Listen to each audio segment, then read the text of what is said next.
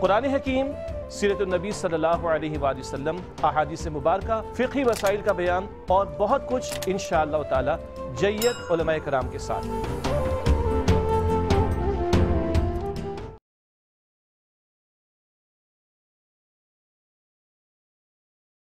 बिसमीम अल्लाह तबारक व ताली के पाकिज़ा नाम से आगाज़ करते हैं, जो बहुत मेहरबान, नहायत, रहम वाला है। दरस बुखारी का सिलसिला जारी सारी है और पिछले प्रोग्राम में दो हज़ार चार सौ पैंतालीस नंबर हदीस पाक तक हम पहुँचे थे।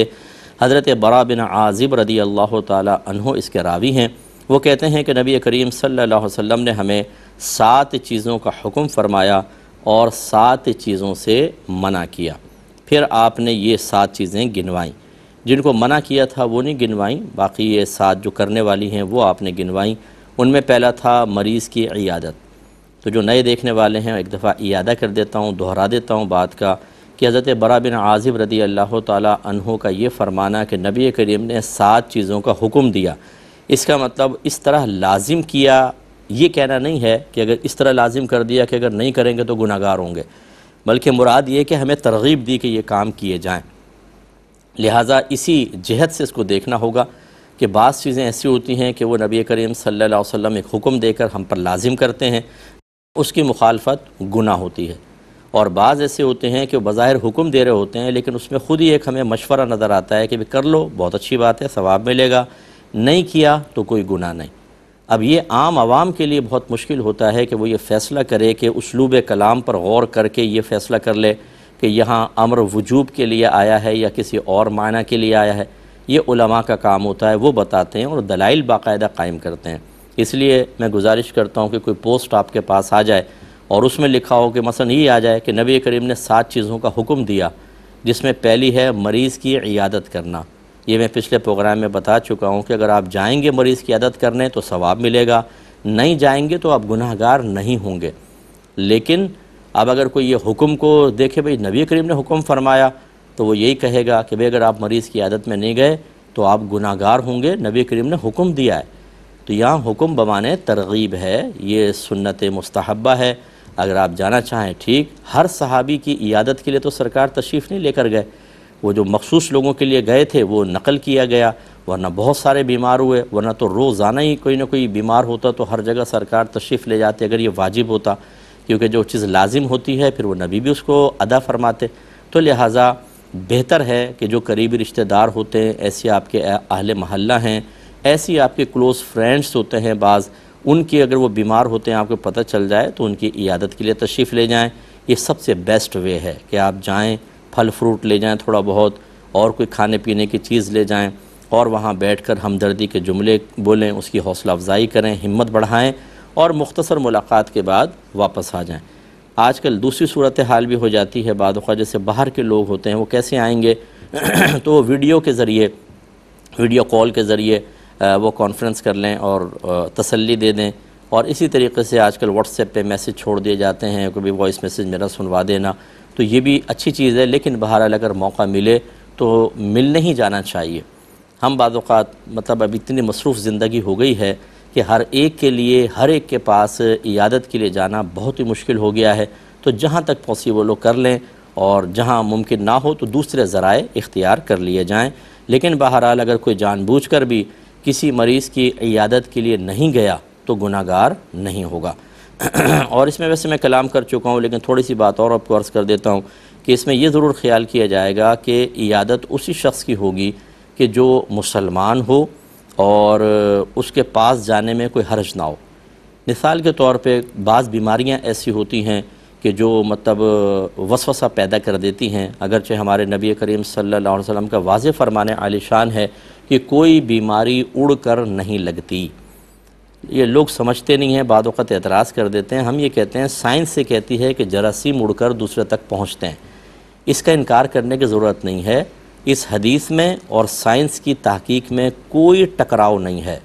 साइंस से कह रही है कि जरासीम दूसरे तक पहुँच जाते हैं और नबी करीम सल्लल्लाहु अलैहि वसल्लम फरमा रहे हैं, कोई बीमारी उड़ कर नहीं लगती है। इसका मतलब है कि नबी करीम सल्लल्लाहु अलैहि वसल्लम के फरमाने आलिशान का मतलब ये है कि अगर जरासीम किसी तक पहुँच भी गए, उस वक्त तक वो असरानंदाज नहीं होंगे, उस वक्त तक वो बीमारी का सबब नहीं बनेंगे जब तक अल्लाह नहीं चाहेगा। वरना तो अगर उड़ के लगनी, हर बीमारी उड़ के लगनी होती और लाजिम होती तो फिर तो जिसको पहुँचे वो बीमार होता।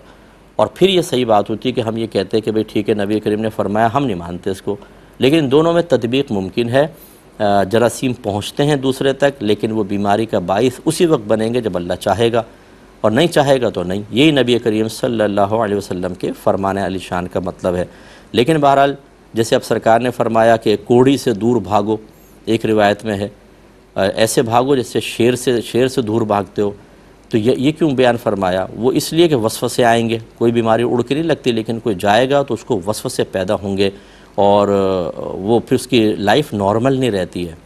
आपने देखा ये कोरोना वगैरह के जब मसाइल हुए जो किसी के पास चला गया तो वापस आया तो यार मेरे सर में पेन हो रहा है थोड़ा सा कभी सांस में दुशारी महसूस हो रही है? यानी नफसियाती तौर पर आधा बीमार हो जाता है आदमी। तो ऐसे मरीज़ों की करीब जाकर इयादत ना करें। उनसे वही फ़ोन कॉल पे कर लें या वही बड़ी एहतियात के साथ ग्लव्स पहन के मास्क पहन कर और जो अगर आप आईसीयू वगैरह में जा रहे हैं तो फिर उसका सेफ्टी जो लिबास होता है, वो पहन कर आप जाएँगे। फिर ठीक है, वरना ना भी जाएँ तो इसकी गुंजाइश निकलती है। इसी तरीके से अगर कोई बुरा आदमी है, फासिक व फाजिर है, वो बदनाम ज़माना है, ऐसे लोगों से तो दूर भागें। हाँ उसमें अगर कोई मुआज़म दीनी जाता है कि चलो ऐसे वक्त में इंसान नरम हो जाता है, उसका दिल नरम हो जाता है, उसको खौफ पैदा हो जाता है मौत का, ये वो वक्त है कि उसके पास जाकर उसे हिदायत दी जाए, उसको दीन की तरफ़ बुलाया जाए, फिर बेस्ट है वो चला जाए और जाके प्यार मोहब्बत से समझाए कि जो तुमने किया, तुमने देखा कि अल्लाह ताला जब गरीफ पर आता है तुम्हारी ताकत कहाँ गई? तुम्हारा ज़ोर कहाँ गया? आज तुम बेबस बिस्तर पे पड़े हो। तो फिर जब कब्र में जाओगे तो उस वक्त की बेबसी को याद करो। छोड़ दो गुना छोड़ दो दीगर चीज़ें। तो ये हो सकता है कि आपकी ये हिदायत उसके दिल पे असर कर जाए। लेकिन जो आम आदमी जो हिदायत पर कादिर नहीं है, बल्कि अगर उसके पास से होकर आएगा तो सारे उंगलियाँ उठाएँगे कि तुम उस बुरे आदमी के पास गए थे तो फिर अपनी इज़्ज़त के बचाव के लिए ना जाना ही बेहतर है। इसी तरीके से महरम और ना महरम का भी फ़र्क करना होगा। मर्द को औरत की इयादत की इजाज़त नहीं होती, ना औरत मर्द की इयादत करेगी। हाँ लेकिन बाज़ अवत होता है कि ख़ानदानी मामलात इतने नाजुक हो जाते हैं, जैसे बेटी का ससुर बीमार हो गया तो अब बच्ची की वालदा भी और वालिद साहब दोनों चले गए वहाँ पर तो वो बापर्दा रहकर फिर ऐसे मौके पर कि जब ऐसी सूरत हाल हो कि जाना ज़रूरी हो तो फिर जा सकते हैं और इयादत कर सकते हैं, लेकिन औरत उस वक्त पर्दे में रहे।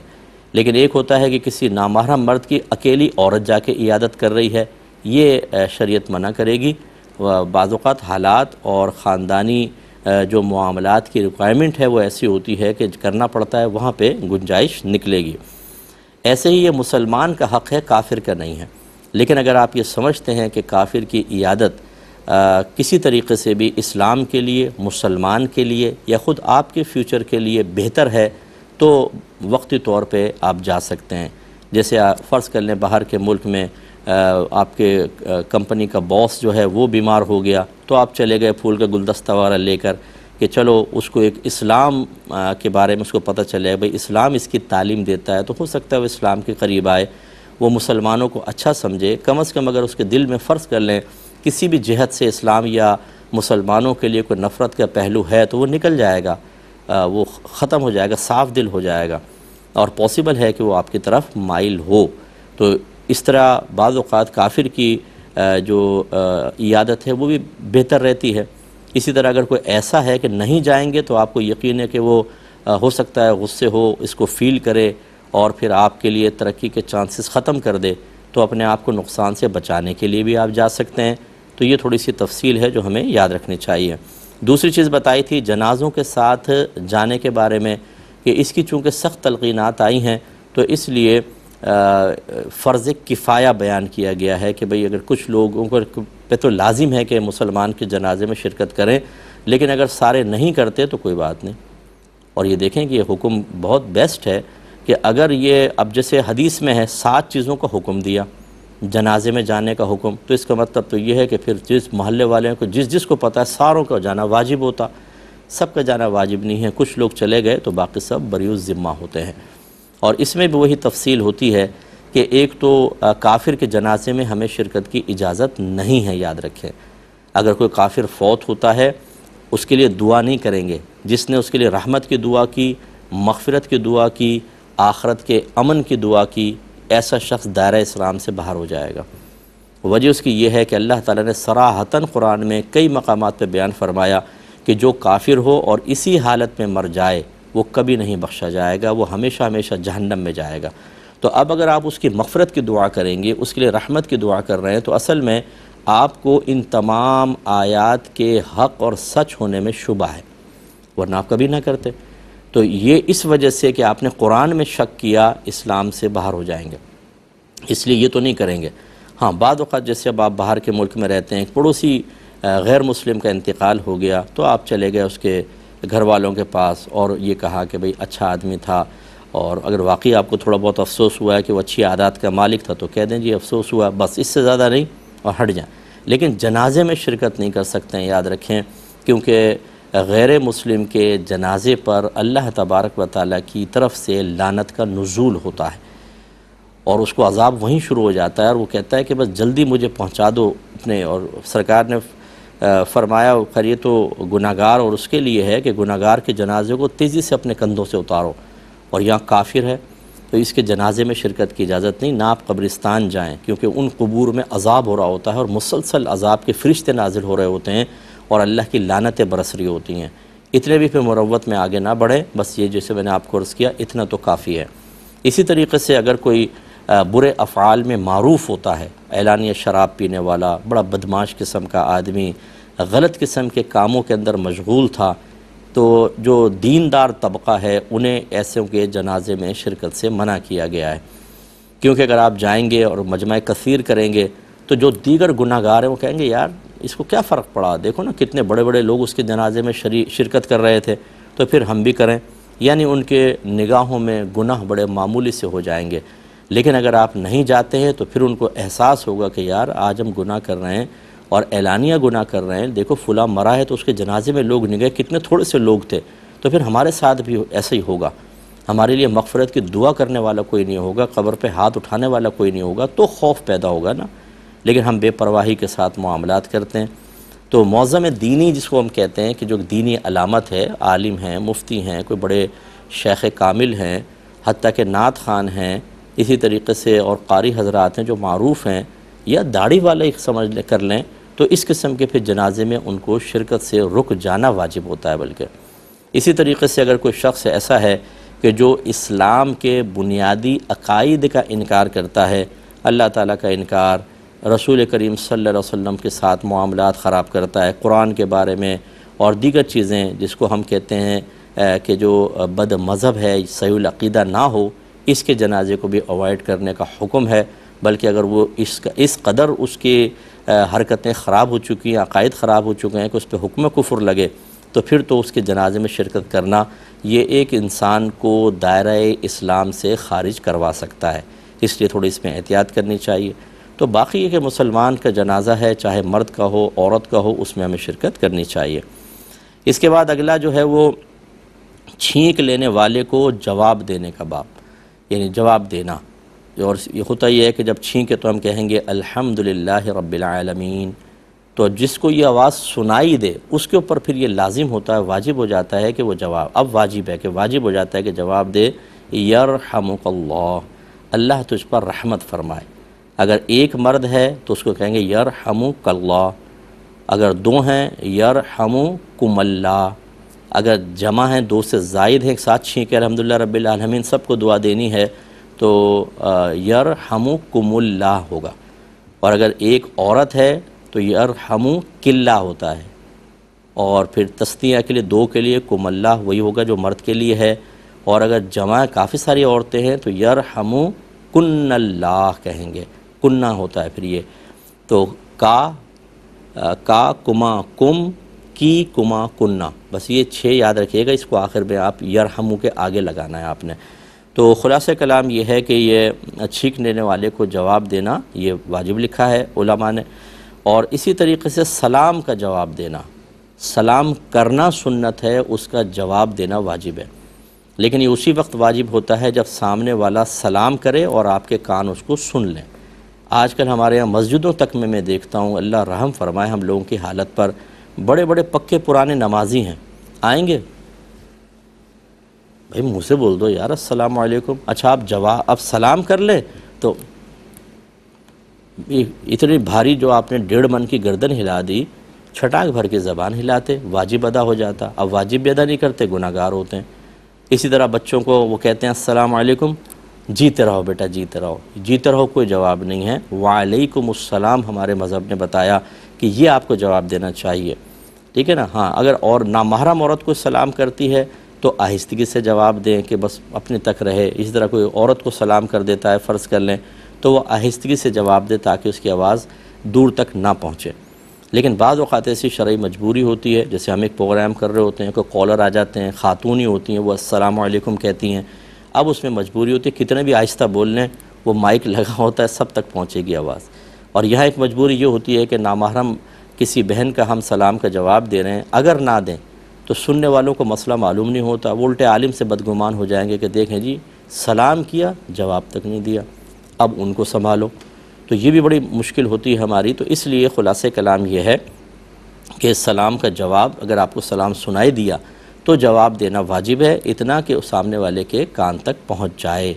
ज़बान से कहना है, टिंड से नहीं कहना। है इसके अलावा बाज़ सूरतें ऐसी हैं कि सलाम करना ही खिलाफ सुन्नत हो जाता है।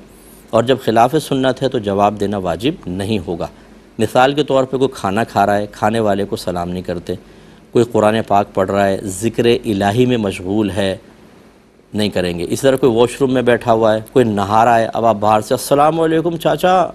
भाई क्यों आप कह रहे हैं? वो बेचारा इस हालत में कि जवाब ही नहीं दे सकता। तो अब सलाम करना खिलाफ सुन्नत है। जवाब देना वाजिब नहीं है। और ऐसे ही ये भी एक बड़ा मसला है। मस्जिद में दाखिल होंगे। लोग नमाज़ के इंतज़ार में बैठे हैं। जमात होने वाली है थोड़ी देर बाद। असलकुम ज़ोर से बोल के चले जाएँगे। हालाँकि जब लोग नमाज़ के इंतज़ार में बैठे हों तो नबी करीम सल्लल्लाहु अलैहि वसल्लम ने शाद फरमाया कि जो नमाज़ के इंतज़ार में है, वो नमाज़ में है। मुराद ये है कि जो नमाज़ के इंतज़ार में बैठेगा, उसको नमाज़ का सा सवाब मिलेगा। इस हदीस के ज़ाहिर का एतबार करते हुए उलमा ने मना किया कि जो नमाज़ के इंतज़ार में बैठे उन्हें सलाम करना खिलाफ सुन्नत है। वो गोया कि नमाज़ में है। अब जैसे आप नमाजी को सलाम करें को कहेगा, भाई, क्या कर रहे हो? नमाज़ पढ़ रहे हो, तुम सलाम कर रहे हो। तो इनको भी सलाम नहीं कर सकते, इसका ख्याल करें। और ये कर रहे होते हैं, सलाम का जवाब ना दे तो नाराज़ होते हैं। भाई, हमने सलाम के जवाब भी नहीं दिया। तो ये समझें इसको। अल्लाह ताला हमें अमल की तोफ़ी अता फ़रमाए। इन नेक्स्ट प्रोग्राम में मुलाकात होगी। वाखरुदावाना अनिलहमदिल्ला रबालमी